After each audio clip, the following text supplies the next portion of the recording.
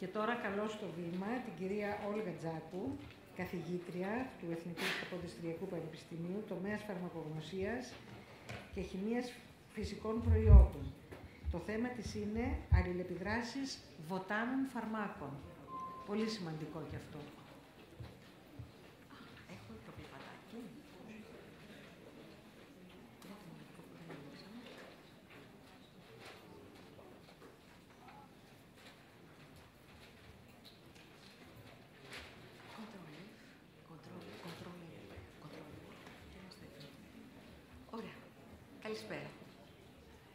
Συνέχεια θα αναφερθούμε στις αλληλεπιδράσεις κάποιων βοτάνων, κάποιων τροφών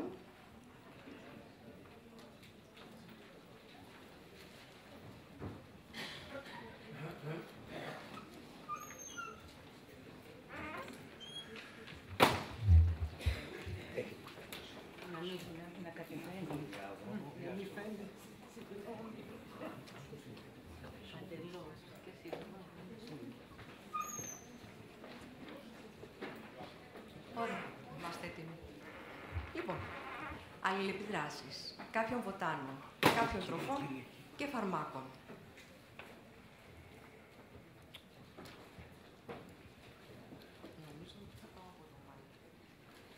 Όταν λέμε βότανα, τι εννοούμε; Αν ανοίξουμε το λεξικό του Μπαμπινιώτη, θα δούμε στο συγκεκριμένο λίμα να αναφέρεται ότι είναι πόδες φυτό, κυρίως αυτό που έχει φαρμακευτικές ιδιότητες.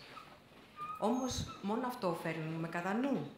Αν λογιστεί κανείς την κύκο είναι ένα δέντρο. Αναφέρεται και αυτή σαν βότανο. Σε διάφορα άρθρα μπορούμε να βρούμε επιπλέον φαρμακευτικά βότανα. Δρόγες. Σε αυτή την περίπτωση δεν υπάρχει αναφορά μόνο σε φυτά.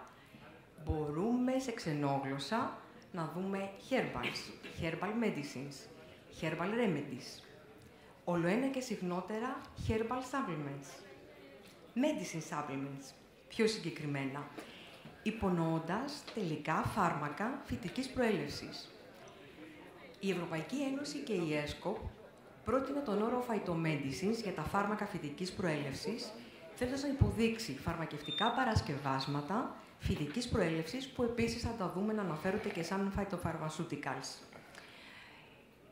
Στην Ευρώπη, ο αντίστοιχος Ευρωπαϊκός Οργανισμός Φαρμάκων βλέπουμε να τα αναφέρει σαν herbal drugs και βλέπετε τον ορισμό. Ορίζεται ότι είναι κυρίως πλήρη είτε μαχισμένα φυτά, φύκη, μύκητες, λιχίνες σε αναπεξέργαστη μορφή, συνήθως αποξηραμένη μορφή και όλα αυτά η κλινική τους χρήση συνιστά τη φυτοθεραπεία. Συνολικά θα μπορούσαμε να πούμε ότι είναι προϊόντα από φυσικές πηγές, χρησιμοποιούμενα για τη διατήρηση της υγείας. Ποικίλουν από αφεψίματα, στερεά εχυλίσματα, τα οποία μπορούν να τεθούν σε κάψουλες και να συμπιεστούν σε δισκία. Συχνά συμπεριλαμβάνονται πολύ γνωστά φυτά, καθώς και μπαχαρικά, αρτήματα που πολλά από αυτά σήμερα έχουμε κλινικά αποδεδειγμένη δράση, αποδείξεις και θεωρούνται φάρμακα. Σαφέστατα δεν συμπεριλαμβάνονται φυσικά προϊόντα, δηλαδή απομονωμένες ενώσεις από φυτά, όπως τα φάρμακα, παραδείγματος χάρη, η ταξόλη, η διγοξίνη. Συνήθως αυτά τα προϊόντα δεν είναι τόσο ισχυρά φαρμακολογικώς όσο είναι τα απομονωμένα φυσικά προϊόντα φάρμακα. Όμως, λαμβανόμενα για μεγάλο χρονικό διάστημα, υπάρχει ο χρόνος να προκύψει, παραδείγματος χάρη, η επαγωγή κάποιων ενζήμων, δηλαδή η αύξηση της δράσης τους. Συνήθως όλα αυτά κατατάσσονται στην συμπληρωματική και εναλλακτική ιατρική, που από εδώ και πέρα θα τη συναντάμε με αυτό το ακρονίμιο ΚΑΜ.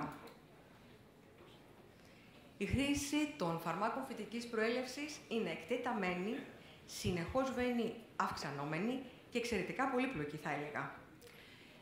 Κάποια στοιχεία από έρευνα, στην Αγγλία βλέπετε ένα δείγμα 5.000 ενήλικες, το 98 καταγράφεται ότι είχαν αγοράσει το 20% φάρμακα μη συνταγογραφούμενα που μόλις το 1% είχε συμβουλευτεί σχετικό επαγγελματία.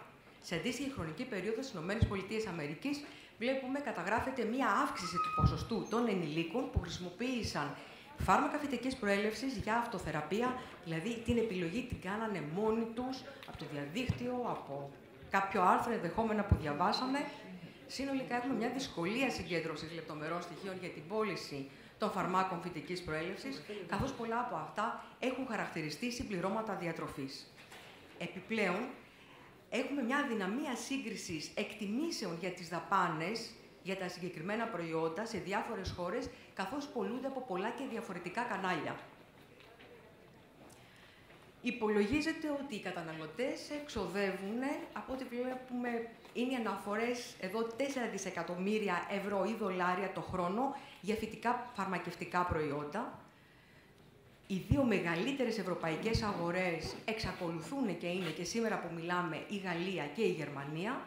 Και σε μια αντίστοιχη χρονική περίοδο, η μία ήταν η έρευνα του 97, το 98 στις ΗΠΑ, οι λιανικέ πωλήσεις των φαρμάκων φυτικής προέλευσης ήταν περίπου τα 4 δισεκατομμύρια δολάρια, ενώ πρόσφατα άρθρα εκτιμούν ότι το 2017 η παγκόσμια αγορά φυτικών συμπληρωμάτων αλλά και φαρμάκων φυτικής προέλευσης μπορεί να φτάσει, ακούστε νούμερο, 107 δισεκατομμύρια δολάρια. Η χρήση φαρμάκων φυτικής προέλευσης συμπεριλαμβανομένων και συγκεκριμένων ειδών τροφίμων είναι κοινή σε όλα τα αυτόχρονα συστήματα ιατρικής. Και το μεγαλύτερο ποσοστό, ένα 80% του παγκόσμιου πληθυσμού, εξακολουθεί να βασίζεται σε αυτά για την πλειονότητα των αναγκών της υγείας τους, σύμφωνα με τον Παγκόσμιο Οργανισμό Υγείας.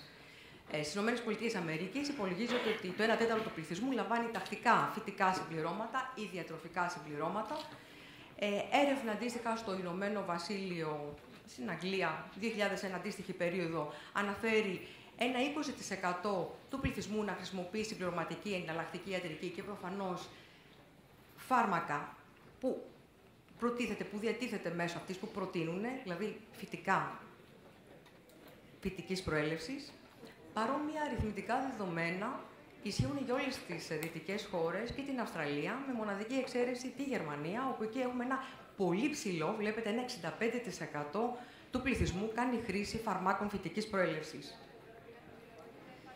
Οι γυναίκες έχουν διπλάσια πιθανότητα από τους άντρες κάποια στιγμή να χρησιμοποιήσουν αυτά τα προϊόντα. Οι ηλικιωμένοι είναι πάλι μια κατηγορία που στρέφεται σε αυτά τα προϊόντα. Έρευνα αναφέρει ένα 63% ε, κάτοικων στις ΗΠΑ, ηλικίας μεγαλύτερη των 50, χρησιμοποιούσαν συμπληρωματική και εναλλακτική ιατρική. Ο αγροτικός πληθυσμός, περισσότερο σε σχέση με τον αστικό. Στι ΗΠΑ, σαφέστατα κάποιες μειονότητες λόγω παράδοσης, λόγω κουλτούρας, όπως είναι οι Κινέζοι, οι Ισπανόφωνοι, Στη Δύση καταγράφονται οι περισσότερο μορφωμένοι άνθρωποι να χρησιμοποιούν, να στρέφονται σε αυτά τα προϊόντα και ιδιαίτερα οι πιο πλούσιοι. Και από το χώρο των επαγγελματιών υγείας, άρευνε αναφέρουν υψηλά ποσοστά και μάλιστα φαρμακοποιών, η έρευνα που σας καταγράφω, που κάποια στιγμή έχει δοκιμάσει συμπληρωματική εναλλακτική ιατρική. Οι καρκινοπαθείς είναι πολύ πιθανό να κάνουν χρήση αυτή της μεθόδου της εναλλακτικής ιατρικής. Ένα 80% όλων των γυναικών με καρκίνο του μαστού έχουν χρησιμοποιήσει κάποια στιγμή ε, αυτή την ιατρική μέθοδο με το 41% ειδικά για τη διαχείριση του καρκίνου του μαστού. Έρευνα στις ΗΠΑ αναφέρει σε εξωτερικούς ασθενείς ε, με καρκίνο έδειξε ότι το 83% συμπληρο... χρησιμοποίησε συμπληρωματική εναλλακτική ιατρική με το 63% να κάνει χρήση ειδικά βιταμινών και φαρμάκων φυτικής προέλευσης, ενώ μια άλλη μελέτη σε ασθενείς ε, που λάβαναν χημειοθεραπεία αναφέρει ένα πολύ μεγάλο ποσοστό να στρέφεται σε συμπληρωματική και εναλλακτική ιατρική και όλο ένα πιο συχνά σε φάρμακα φυτικής προέλευσης. Άλλη ομάδα. Ένα 15% των ελληνικών κάποια στιγμή στην διάρκεια της ζωής τους βρίσκεται σε ένα πρόγραμμα δυνατίσματος περίπου το 20% των γυναικών και ένα 10% των ανδρών κάποια στιγμή θα κάνει χρήση ενός φυτικού σκευάσματος για δυνάτισμα. Η μεγαλύτερη χρήση καταγράφεται από γυναίκες ηλικίας 18 34 χρονών. Υπάρχουν προβλήματα στον έλεγχο αλληλεπιδράσεων. Ένα θέμα είναι ότι οι επαγγελματίες του χώρου της υγείας δεν ενημερώνονται. Συχνά οι ασθενείς φοβούνται την αποδοκιμασία, ντρέπονται να αναφέρουν ότι παράλληλα με ένα αλλοπαθητικό φάρμακο χρησιμοποιούσαν και κάποιο βότανο. Άλλη περίπτωση, βότανα και συμπληρώματα συχνά δεν θεωρούνται καν ότι είναι φάρμακα. Μία αλληλεπίδραση μπορεί να αναγνωρίζεται ως τέτοια ή να αναφέρεται μόνο εάν θεωρείται σοβαρή. Είναι δύσκολο να εκτιμηθεί η αξιοπιστία πολλών αναφορών, καθώς πολλές δεν έχουν διερευνηθεί κλινικά, δηλαδή βλέπουμε παραδείγματα, περιπτώσεις, κλινικές περιπτώσεις που αναφέρονται μόνο σε ένα ασθενή, υπάρχουν καθαρά θεωρητικές περιπτώσεις και προσεγγίσεις χωρίς αποδείξεις, υπάρχουν μελέτες αναφορές σε ζώα ή in vitro πειράματα. Και συμφωνείτε και καταλαβαίνετε ότι τα δεδομένα συνεχώς συσσωρεύονται. Σύντομα θα έχουμε όλο ένα και περισσότερη πληροφορία και δημοσιεύματα, αλλά είναι επίσης πολύ πιθανό ότι αυτά θα αναφέρονται σε αλληλεπιδράσεις ίσονος σημασίας ή συμπεριλαμβάνουν φάρμακα ήδη πασίγνωστα για τις αλληλεπιδράσεις τους. Στο Στόκλεϊ, ο Στόκλεϊ αναφέρει ότι τα δεδομένα σχετικά με τις αλληλεπιδράσεις διαφέρουν ευρέως την ποιότητα και την αξιοπιστία. Στην καλύτερη περίπτωση, τα δεδομένα προέρχονται από ένα μεγάλο αριθμό ασθενών που έχει ληφθεί, έχουν γίνει κλινικές μελέτες υπό σχολαστικά ελεγχόμενες συνθήκες. Στη χειρότερη, δεν έχουμε καν κάποια δημοσίευση ή έχουμε μη ελεγμένες αναφορές ή βασίζονται μόνο σε μελέτες και σε ζώα. Συναντάμε συχνά στο χώρο μας διαστρέβλωση αυτού του προβλήματος αλληλεπιδράσεων. Μερικές φορές είναι τίποτα περισσότερο από εικασίες, μια κινδυνολογία που επειδή επαναλαμβάνεται, τίνει και να παγιωθεί. Συχνά αναφορές και περιπτώσεις συνοδεύονται από μία, αν θέλετε, νευρικότητα των ρυθμιστικών αρχών των φαρμάκων.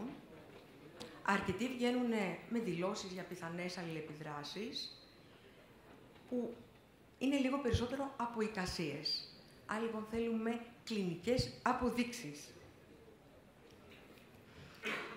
Να δούμε λίγο μηχανισμούς αλληλεπίδρασης, προκειμένου να καταλάβουμε περισσότερο το πρόβλημα ή που θα εστιάσουμε. Συνήθως αυτή είναι η φαρμακοκινητική και η φαρμακοδυναμική ενός φαρμάκου. Όταν λέμε φαρμακοκινητική, είναι πώς το σώμα επιδρά στο φάρμακο. Φαρμακοδυναμική, πώς το φάρμακο επιδρά στο σώμα. Επομένως, στη φαρμακοκινητική έχουμε όλες τις διεργασίες που περιλαμβάνουν την απορρόφηση, την κατανομή, το μεταβολισμό και την απέκριση ενός φαρμάκου. Φαρμακοδυναμική, η δράση ενός φαρμάκου μεταβάλλεται από την παρουσία ενός άλλου στο σημείο της δράσης. Αν μιλήσουμε λίγο για την απορρόφηση, είναι γνωστό ότι υπάρχουν αλλαγές, παρατηρούνται. Ε, συνήθως έχουμε μία μείωση της απορρόφησης ενός φαρμάκου αντί για μία αύξηση, αν και μπορεί να συμβεί και το αντίθετο. Παράγοντες που επηρεάζουν την απορρόφηση είναι το εταιρικό pH, ο σχηματισμός συμπλόκων, η αλλαγή κινητικότητας του γαστεντερικού σωλήνα, τα φάρμακα φυτικής προέλευσης και κάποιες τροφές μπορεί να αναστέλουν την απορρόφηση ενός φαρμάκου σχηματίζοντας σύμπλοκα. Παραδείγματος χάρη, τανίνες, πολυφενόλες. Στην πράξη μπορεί να μην είναι τόσο σημαντικό. Παραδείγματος χάρη, το μαύρο το τσάι ε, περιέχει όλα τα προηγούμενα και τανίνες και πολυφενόλες και συχνά χρησιμοποιείται από πολλούς ασθενείς για την ε, κατάποση των φαρμάκων τους και δεν μοιάζει αυτό να τα καθιστά ανενεργά. Θέμα λοιπόν ποσότητας. Στον πίνακα που βλέπουμε είναι κάποια πολύ γνωστά σας νομίζω παραδείγματα φαρμάκων που μπορεί να έχουμε πρόβλημα λόγω απορρόφησης. Πάμε το χάρη, έχουμε ένα φυσικό προϊόν, τη διγοξίνη.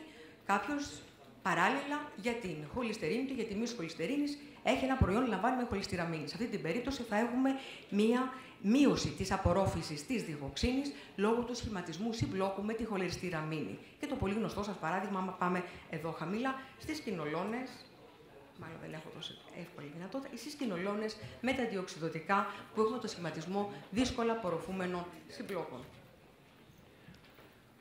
Μηχανισμοί. Κατά το μεταβολισμό ενός φαρμάκου υπάρχουν αυτές οι δύο φάσεις. Έχουμε τη φάση την 1 και τη φάση την 2. Ε, στη φάση 1 πολλά φάρμακα μένουν ως έχουν. Κάποια γίνονται πιο δραστικά και τοξικά. Μία περίπτωση, αν ε, κάποιος έχει λάβει αριστολόγια και ασάρου, σε εισαγόμενα κινέζικα προϊόντα, κατά τη διαδικασία αυτή θα προκύψει τελικά ένα αριστολογικό οξύ, ένα εξαιρετική, μια ένωση εξαιρετικά νευροτοξική, που έχουμε τεκμηρωμένους, καταγεγραμμένους αρκετούς ε, θανάτους. Ε, στη φάση 1, τα φάρμακα μετατρέπονται σε πιο πολικές ενώσεις. Παραδείγματος χάρη, έχουμε εισαγωγή μιας πολικής ε, ομάδας ενός υδροξυλίου, ή μπορεί να έχουμε απομεθυλίωση ενός υδροξυλίου, η περίπτωση της κοδεΐνης που απομεθυλιώνεται στη μορφήνη. Οι περισσότερες αντιδράσεις οξύδωσης γίνονται στα ισοένζημα στο κοιτόχρωμα το 5350.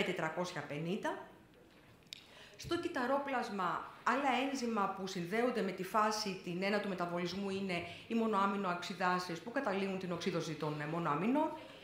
Επίσης, ρόλο παίζει η οξυδάση της ξανθίνης για τον καταβολισμό των πουρινών, η αλκοολική αφιδρογονάση αντίστοιχα για την υπεύθυνα για τη μετατροπή αλκοολών ε, και τονών, αλδεϊδών. Επίσης υπάρχουν υδρολάσες εποξιδίων, οι οποίες ανεργοποιούν τοξικά εποξίδια. Μπορεί να έχουμε κάποια αναγωγή, είτε στο κοιτόπλασμα, ε, στο σηκώτη, είτε στην εντερική χλωρίδα.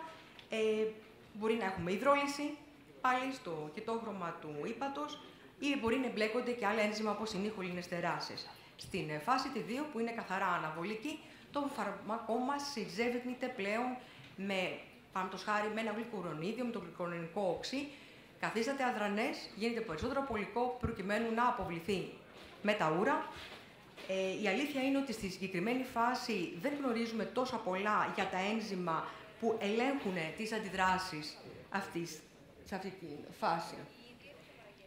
Θα σταθούμε λίγο στο σύστημα της κοιτοχρωμικής μονοξυγενήσεης 5450 και θα καταλάβετε ε, πόσο σημαντικό είναι.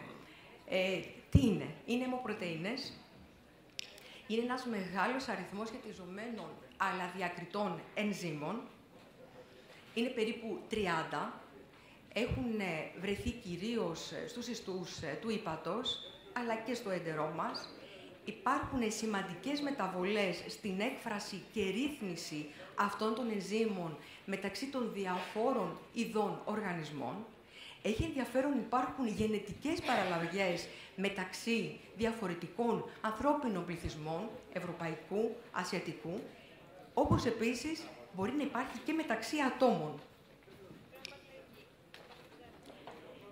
Τα ισοένζημα του κοιτοχρώματος είναι τα βασικά ένζημα τα οποία εμπλέκονται στο μεταβολισμό των φαρμάκων και στην πράξη κάποια συγκεκριμένα ισοένζημα μπορεί, μοιάζει ότι είναι υπεύθυνα για το μεταβολισμό σχεδόν του 90% κοινώς χρησιμοποιούμενων φαρμάκων. Τα αναγραφόμενα είναι από τα πλέον ε, γνωστά και τα πλέον σημαντικά ισοένζημα, και για να εξοικειωθούμε, αν δεν έχει συμβεί μέχρι τώρα, τα τρία πρώτα γράμματα αφορούν το κοιτόχρωμα 5350, το νούμερο που ακολουθεί είναι η γενετική οικογένεια, το επόμενο γράμμα είναι η γενετική υποοικογένεια και το τελευταίο είναι το συγκεκριμένο γονίδιο. Το κοιτόχρωμα το 5350 είναι ο πλέον σημαντικός μηχανισμός αλληλεπίδρασης για τα βότανα και τα συμπληρώματα διατροφής.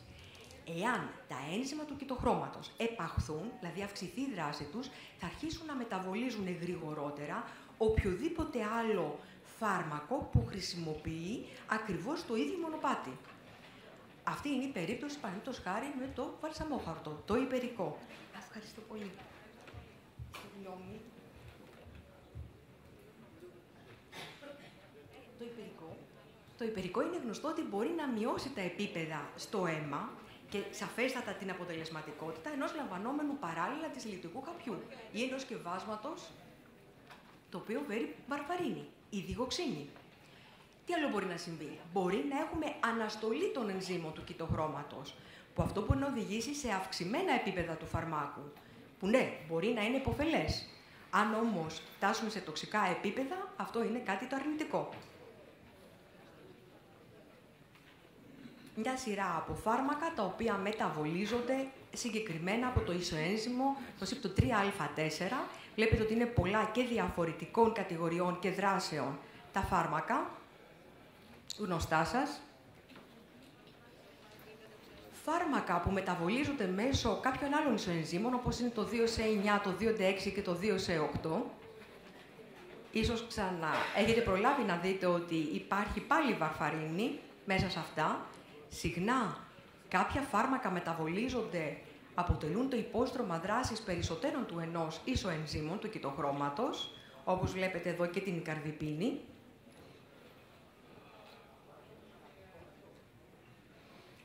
Φυτά. Γνωστά σας ίσως φυτά που αναστέλουν ισοένζημα. Η καταγραφή είναι κυρίως από ισοένζημα τα οποία επέλεξαν να είναι αρχικά μελέτες που είναι in vitro, Έχετε την εχινάτσια, την εχινάκια. Βλέπετε λοιπόν πάλι το γνωστό το κοιτόχρωμα που θα αναφέρεται όλο ένα και περισσότερο οι μελέτες ε, είναι περισσότερο καταγεγραμμένες σε πολλά από αυτά με το 3α4. Όμως μεταβολίζεται μέσω και του 1α2, είναι ένας βασικό ισοένζυμο που αφορά και το μεταβολισμό της καφέινη. Εάν σταθούμε στα δύο τελευταία, το υπερικό, την γλυκή ρίζα και το μαύρο το τσάι, βλέπετε κάτι που ίσως είναι ασύμβατο; Δηλαδή αναστέλνουνε, αλλά παράλληλα υπάρχει αναγραφή και καταγραφή ότι επάγουν, δηλαδή αυξάνουν την δράση κάποιων ενζήμων. Απλώς ίσως για να καταλάβουμε την πολυπλοκότητα της προκειμένης κατάστασης των αλληλεπιδράσεων. Εδώ είναι, στο αυτό το πίνακα, κάποια σημαντικά τρόφιμα και συμπληρώματα, γνωστά για την αναστολή των ισοενζήμων. Ε, τρόφιμα, όπως είναι ο χυμός του grapefruit. Βλέπετε μια πολύ μεγάλη ομάδα ισοενζήμων. Άλλωστε, σε πολλούς από εσάς είναι γνωστός ο χυμός grapefruit ότι εμπλέκεται σε αλληλεπιδράσεις με αρκετά φάρμακα και διαφορετικών κατηγοριών. Μοσχοκάρφια στη συνέχεια. Ή γαρίφαλα, αν τα λέτε, ένα άρτημα, όπως χρησιμοποιείτε. Και το αμέσως επόμενο, το ginger, πώς θα το κατηγοριοποιούσαμε; Άρτημα, συμπλήρωμα, αλλά και βάση κλινικών αποδείξεων πλέον σήμερα φάρμακο. Βρίσκεται στην Ευρωπαϊκή Φαρμακοπία. Υπάρχει κανονικό σκεύασμα για την αυτεία. Είναι ένα διαμετικό. Έχει πολύ ωραίε αντιπληγμονώδε και τι σπασμωδικέ δράσεις. Βλέπετε το σύνολο εδώ των διαφορετικών ενζήμων και κοιτάξτε πόσες φορές αναφέρεται το συγκεκριμένο το ισοένζυμο το 3α4 και το σύμβολο δείχνει ότι από την σειρά των in vitro πειραμάτων που έχουν γίνει τα συγκεκριμένα ισοένζημα Απλά στο συγκεκριμένο να σας πω ότι για όλα δεν έχουμε ακόμα κλινικές αναφορές. Αλλά για το ginger και σε σχέση με το 3α4 υπάρχουν κλινικές αποδείξεις. Ξαναθυμίζω το 3α4 είναι ένα ισοένζυμο μέσω του οποίου μεταβολίζεται η βαρβαρίνη και αν κάποιος αναλογιστεί θα μπορούσε δυνητικά η βαρφαρίνη μαζί με το ginger να έχει κάποια αλληλεπίδραση. Υπάρχουν όμως κλινικές αποδείξεις σήμερα που μιλάμε, που ειδικά για το 3α4 αποδεικνύουν ότι δεν έχουμε αλλαγή των επένδων, δεν έχουμε άλλη δράση. Άλλωστε η βαρφαρίνη δεν μεταβολίζεται μόνο μέσω του 3α4.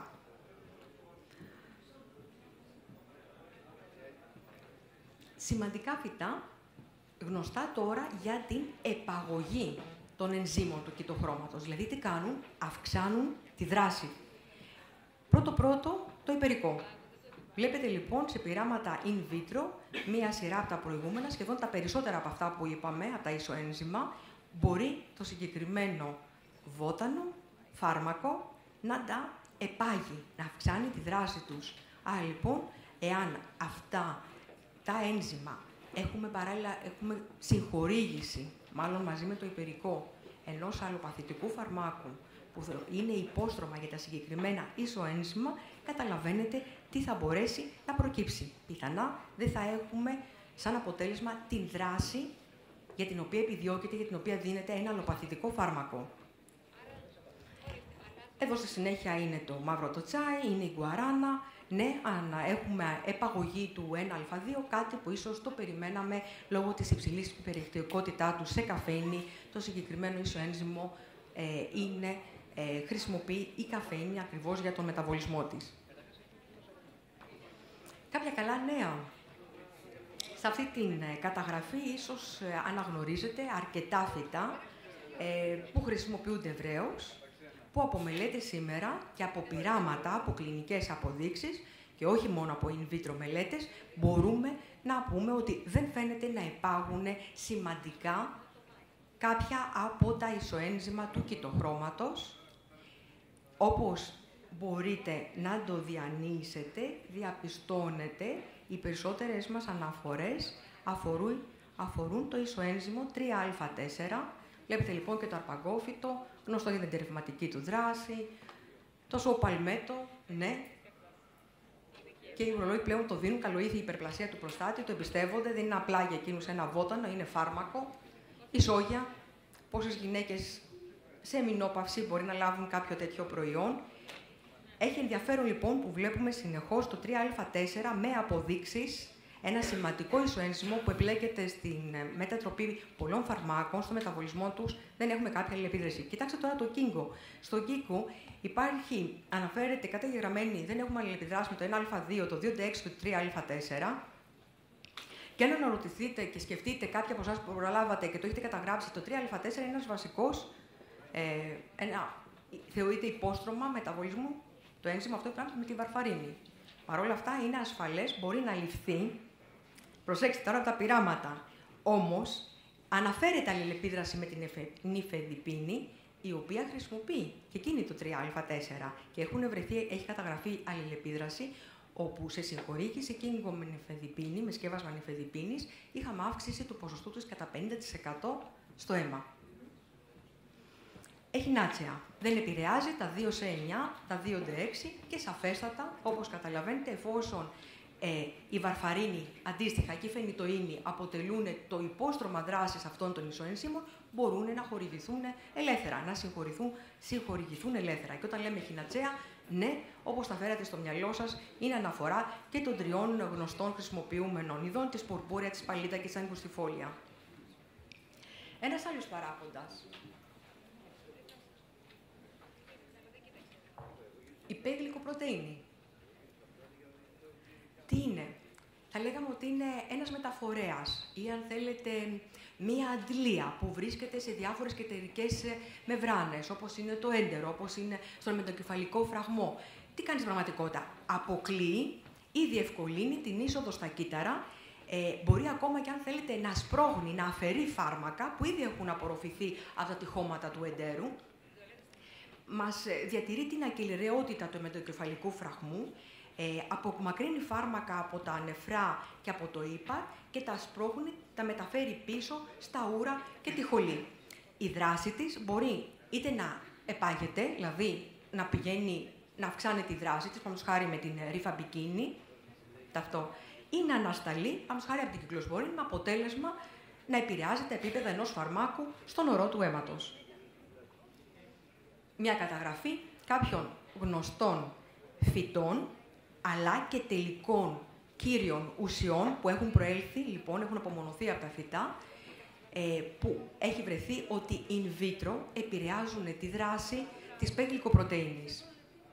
Όμως τελικά έχει τόση μεγάλη σημασία; Σαν ποσότητες. Δείτε, νομίζω ότι καταγράφεται σκόρδο, μια άλλη περίπτωση. Τροφή, άρτημα, βότανο, συμπλήρωμα διατροφής. Φάρμακα που επηρεάζονται από την πεγλικοπρωτεΐνη. Πολλά και γνωστά σας και στέκομαι μόνο κυκλοσπορίνη, πακλιταξέλ, στατίνες, συγκεκριμένα η συμβαστατίνη και το ορβαστατίνη, οι οποίες εκτός από την π-γλυκοπρωτεΐνη επηρεάζεται ο μεταβολισμός τους και από τα ισοένζημα, όπως είπαμε, του χρώματος. Η άλλη μας περίπτωση, φαρμακοδυναμικές αλληλεπιδράσεις.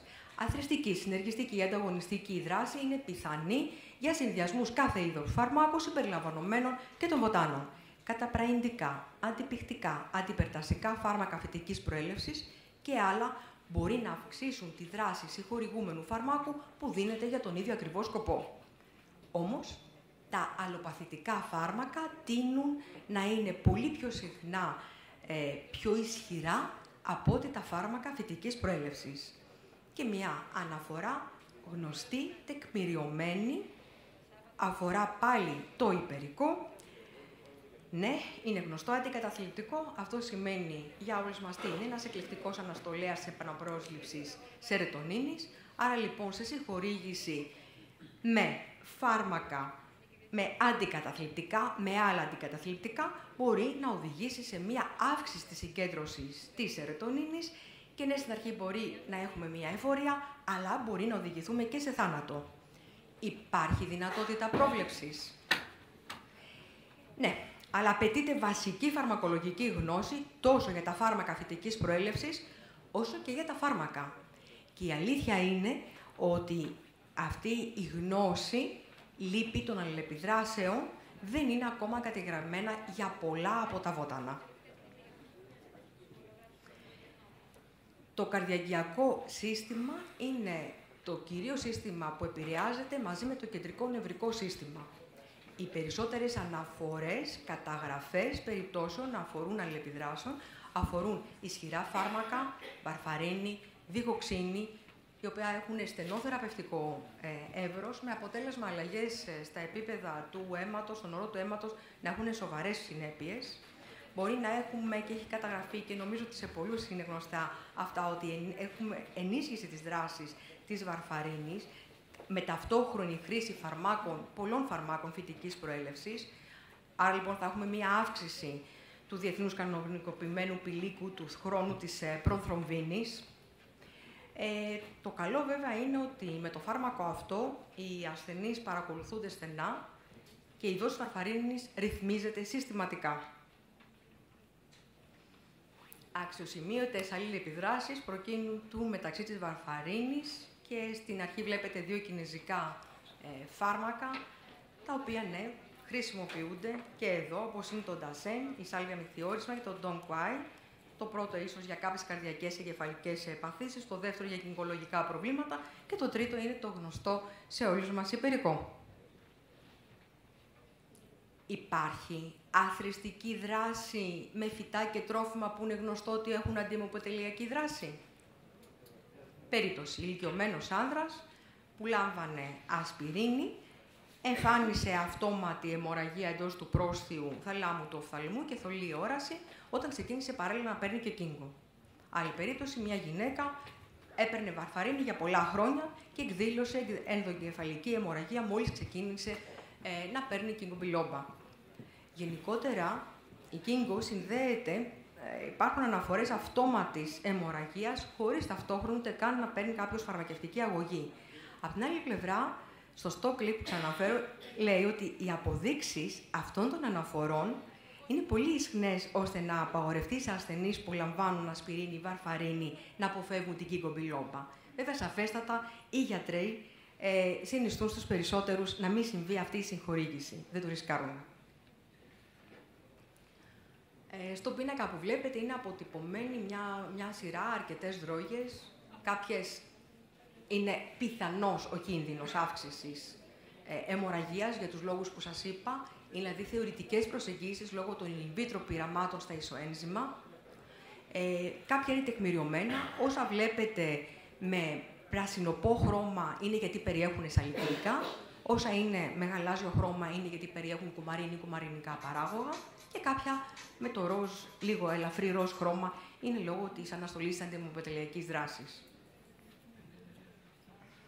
Άρα συνολικά οι καταγεγραμμένες μας ε, περιπτώσεις, ε, οι περισσότερες, αν θέλουμε να τα δούμε σφαιρικά, αφορούν βαρφαρίνη, διγοξίνη, αναστολής πρωτεάσης και κυκλοσπορής.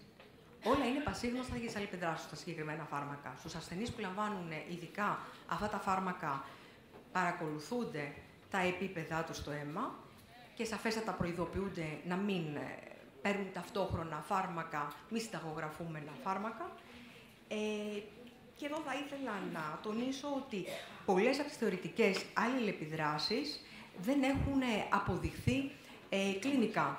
Εδώ, ας πούμε, χάρη, μπορείτε ίσως να σκεφτείτε προϊόντα που περιέχουν χινάκια. Ε, Εντάξει, η χινάκια είναι γνωστό, έχει μια νοσοδηγερτική δράση. Άρα, κανείς θεωρητικά μπορεί να σκεφτεί ότι θα επηρεάσει μια νοσοκατασταλτική θεραπεία. Δηλαδή, αν κάποιος ταυτόχρονα λαμβάνει κυκλοσκορίνη ή λαμβάνει κάποιο σκεύασμα με μεθοδορεξάτη, ενδεχόμενα δεν θα έχει το επίπεδο δράσης που θα αναμενόταν. Όμως, αυτή είναι μια θεωρητική προσέγγιση. Ξανατονίζω ότι δεν έχει αποδειχθεί κλινικά. Άρα, λοιπόν, μπορούμε να έχουμε γνώση αυτών των καταστάσεων, να μας κρατάνε, αν θέλετε, alert, αλλά από την άλλη πλευρά θέλω να μην φοβόμαστε. Όταν γνωρίζουμε, δεν υπάρχει φόβος, υπάρχει μετά καθοδήγηση. Και εγώ βέβαια δεν θα παραλείψω. Αναγκαστικά οδηγήθηκα εκεί, γιατί το υπερικό, ε, και εγώ δεν το πίστευα, ε, το βαλσαμόχορτο, ίσως έχει τις περισσότερες, το μεγαλύτερο αριθμό ερευνητικών άρθρων που σχετίζονται με αλληλεπιδράσεις με άλλα φάρμακα. Υπάρχουν αποδείξεις πλέον ότι το, φάρμα, το βότανο αυτό επάγει το ισοένζυμο το, σε, το 2 σε 9, όπως επίσης και την πεγλικοπρωτεΐνη. Στην πραγματικότητα, ίσως είναι πολύ σύντομος ο χρόνος να, να αναφέρουμε υπάρχει μια επαγωγή πολλών από τα ισοένσημα που αναφέραμε. Παραδείγματο χάρη, αν θυμάστε κάποια από εσάς, έχει και το 3α4. Και αυτό είναι ειδικά λόγω της περιεχόμενης της, της υπερφορίνης που περιέχει. Εν ολίγης, βλέπετε πόσα φάρμακα μειώνει τα επίπεδά τους στο αίμα. Δηλαδή, έχετε αντικαταθλιπτικά μέσα, αμυτριπλίνη, τυκλοξίνη, καρδιακά, διγοξίνη, ίντιναβύρη, αντιρετροϊκό, ε, ειρνοτεκάνη, αντινοπλασματικό. Όσο όλα αυτά, επειδή ακριβώς είναι το ίδιο το υπόστρωμα και αυξάνει τη δράση, επάγει τη δράση των συγκεκριμένων ενζήμων μεταβολής, γι' αυτό και αυτά μειώνονται και επομένως δεν έχουμε τη δράση που θα περιμέναμε από τα συγκεκριμένα φάρμακα. Στην Αγγλία υπάρχει σαφέστατη ε, συμβουλή, σύσταση προς τους ασθενείς που λαμβάνουν βαρφαρίνη ότι δεν πρέπει να παίρνουν ταυτόχρονα υπερικό και αν έπρεπε να το σταματήσουν και να ρυθμίσουν αυτόματα, άμεσα μάλλον, την ε, δόση του αντιπικτικού φαρμάκου. Απλά μία αναφορά είναι από μία μελέτη σε 8 υγιείς εθελοντές, στους οποίους μπορείτε εύκολα να δείτε στη μία ώρα, όταν είχε χορηγηθεί συγγνώμη, Ινδιναβύρη, ε, πόσο υψηλό ήταν, κοιτάξτε, που έφτασε η συγκέντρωσή της, ενώ σε συγχορήγηση ταυτόχρονα με βαλσαμόχορτα, που είναι τρεις φορές στην πραγματικότητα η δόση, δηλαδή γύρω στα 900, αν είναι 300 μιλιγκράμμ η κάθε κάψουλα, 900 λοιπόν, ενός μισηφά, μια μισηφά, τρεις φορές μισηφά δόση και βλέπετε πόσο σημαντική ήταν η μείωση των επιπέδων του φαρμάκου. Συχνά λίστες αλληλεπιδράσεων συνοδεύονται από υποθετικές δηλώσεις που αναφέρονται σε δοκιμασίες, σε πειραματικά δοκιμασίες ολίνα ή σε μελέτες σε ζώα, αλλά παρόλα αυτά θεωρούνται αξιόπιστες. Θέλω να μην ξεχνάμε ότι οι ποσότητες φυτών ή τροφίμων που χρησιμοποιούνται σε μελέτες με ζώα συχνά είναι υψηλότερες από τις χρησιμοποιούμενες στην κλινική πρακτική ή στη διατροφή ή στα μη συνταγογραφούμενα φάρμακα. Μελέτες της χρήσης ε, φαρμάκων φυτικής προέλευσης δεν ισοδυναμούν με αλληλεπιδράσεις, παρά τα συμπεράσματα κάποιων συγγραφέων που υποδηλώνουν ακριβώς αυτό και κάποιες φορές αβάσιμα σχόλια συγγραφέων ή και προκαταλήψεις μπορεί να οδηγήσουν ιδιαίτερα τους δημοσιογράφους ε, σε κάποια συμπεράσματα, βγάζουν είδηση, μία είδηση που μπορεί να έχει μια καταστροφική παραπληροφόρηση τελικά για το κοινό. Κλείνοντας, μπορούμε ή ξέρουμε τον ορισμό ενός φαρμάκου. Μία ουσία μείγμα ουσιών θεραπευτικές ή προφυλακτικές ιδιότητες. Δίνονται είτε και να αποκατασταθούν, να βελτιωθούν ή να τροποποιηθούν οργανικές λειτουργίες. Α, λοιπόν, βότανα, συμπληρώματα, φυτικά, διατροφικά συμπληρώματα, συμπληρώματα, είναι φάρμακα.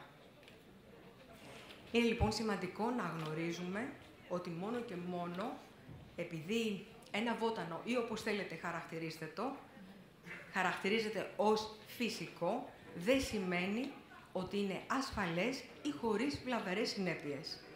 Ευχαριστώ πολύ για την προσοχή σας.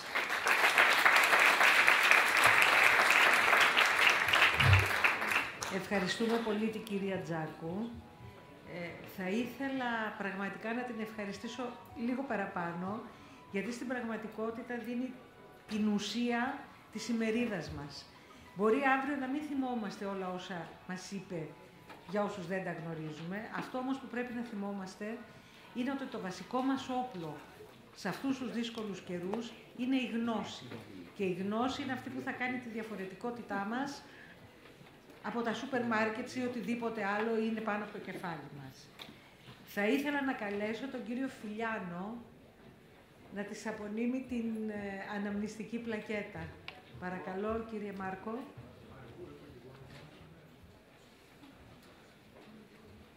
Ο κύριος Φιλιάνος είναι πρωτοπόρος στον χώρο μας, τον ξέρετε όλοι. Είναι μέλος της εταιρείας μας. Είναι μέλος της Ελληνικής Εταιρείας Εθνοφαρμακολογίας. Υπήρξε πρόεδρος της πολλά χρόνια. Και τον ευχαριστούμε για την παρουσία του στο χώρο μας. Ευχαριστώ που με ετοιμάτε. Ευχαριστώ πολύ.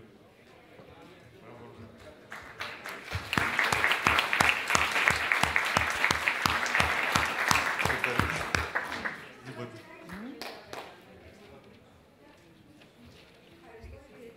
Πραγματικά για όλη σας την κίνηση. Δεν θέλησα να σας κουράσω, δεν υπήρχε λόγο να σας δώσω μόνο λίστες. Θα μπορούσαμε οποτεδήποτε θελήσετε το πρόβλημα... Ήθελα να εστιάσω στο θέμα. Ήθελα να βάλουμε την αρχή να καταλάβουμε ε, το υπόστρωμα. Πώς λειτουργούν ίσως κάποια πράγματα και ειδικά θα τα πούμε. Ευχαριστώ πολύ. Θα τα πούμε στο ιδεά, κυρία Άτζα.